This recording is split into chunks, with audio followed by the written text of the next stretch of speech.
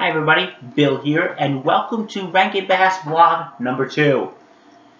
Today's special is going to be Cricket on the Hearth, which is was their second, Rankin Bass's second special after the success of Rudolph three years prior.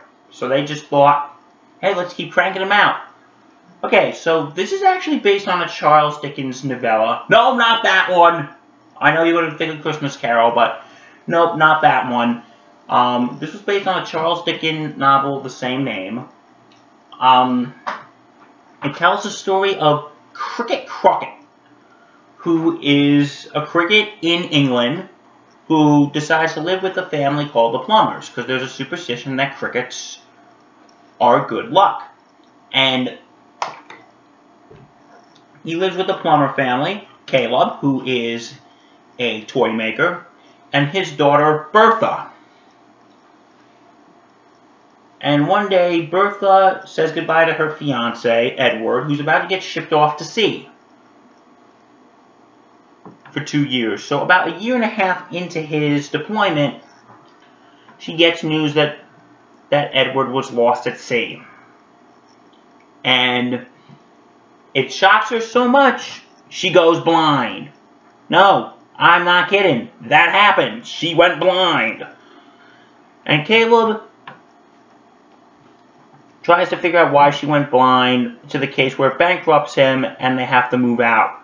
Then she, he moves into a toy factory played by Mr. Tackleton, who runs the factory and will let Caleb work there but can't pay him, but will let him stay. And he has a crow on his head. A literal crow. Isn't that cool?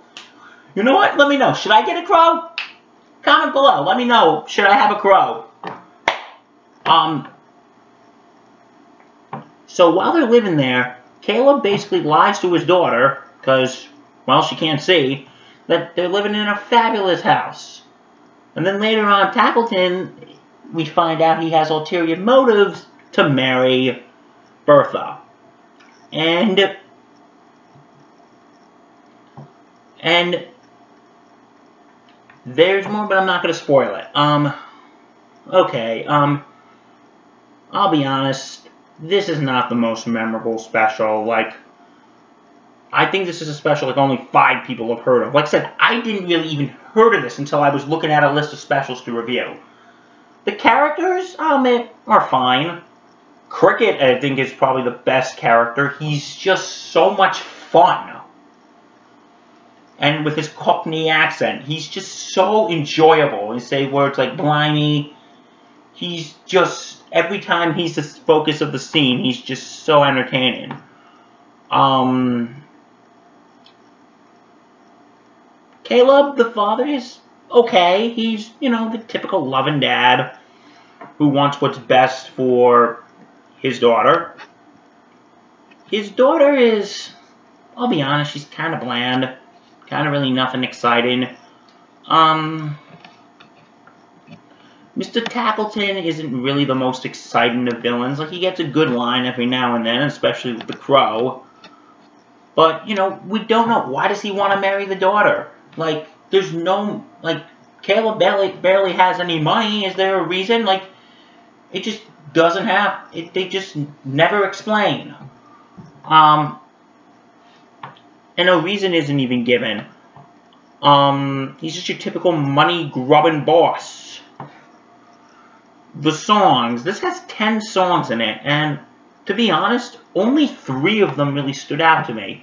The opening song called Cricket on the Hearth, which was stuck in my head, explaining about what the who the cricket is and he can cause good luck.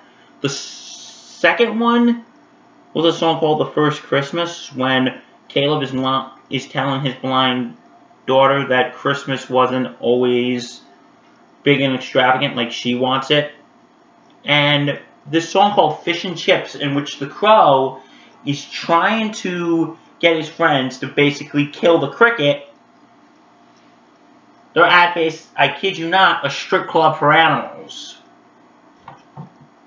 Yeah, a strip club for animals. And the song Fish and Chips is actually kind of fun. It's actually a fun song, but those were the only three songs that stood out to me. All the other seven were bland and just forgettable. I think that's like the best way to describe this special is forgettable. Well, one thing I forgot to mention, the animation, it's hand-drawn, and you could tell it's just a little glitchy. But, you know, it was a different time back then. But overall, this, it's good in some parts, but overall, I think this special is just not that memorable. Like, I don't think it's bad. Like I said, the cricket's fun. Some of the songs are okay. Caleb's fine. But overall, it's not something I'd go out of my way to watch for Christmas every year. And maybe I'm being a little biased because I didn't grow up with this special, but to be honest, I don't think there's many people who really grew up with this special. I, again, I haven't even heard of this one until I was looking at the um, whatchamacallit, until I was looking at the list of specials. So, I don't know. We're, if, maybe some people did grow up with it. If you like it, fine, like it. But, you know, again, not horrible. You could tell they put some effort in, but not enough. So I'm going to give Cricket on the Hearth a D. While not awful, okay, on the border between a D and a C. Because, though not awful, it's just not that memorable. And not, I didn't hate it, but it just didn't really stand out to me. So yeah, I'm going to give it a D. Thank you guys, and did you see Cricket on the Hearth? Shoot me a comment down below. And again, if there's a Christmas special you want me to review, it doesn't have to be Rankin Bass. It could be anything. Please let me know. I'll check it out. I'll watch it. I'll, I'll review it for you. Promise.